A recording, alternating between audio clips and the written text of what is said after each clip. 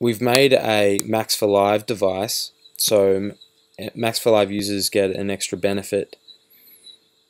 And what this does is it maps these eight dials in each chain onto the 128 parameters which have been, been pre-configured for each kit in the VST. So you can do all this from push. You can drop in the Audiomodder MacroX. You map the dials and you'll see now that when I change tune that it's changing that parameter. Likewise if I go into this um, second pad and I change these variables that you'll see that uh, it's it's changing the parameters on the Maschine VST. So the reason why we've done this is it means that uh, when you hit a pad on push, you've got eight dials there ready for you to automate, automate and um, vary the tonality of those individual sounds for every single Maschine kit.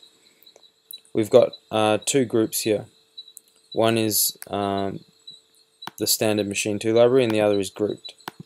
You'll see here if you load up any of these presets that all of the routing is pre-configured and split out in each pad to receive through this um, external instrument send. So you have you have 16 individual channels to be able to add effects on push all, all pre-configured.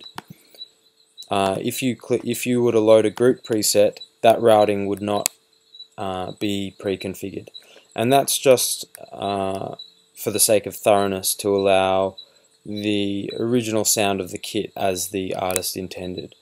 Um, this implementation of doing the routing can can change the sounds of some some kits if there's uh, compression on the master track for example in Maschine.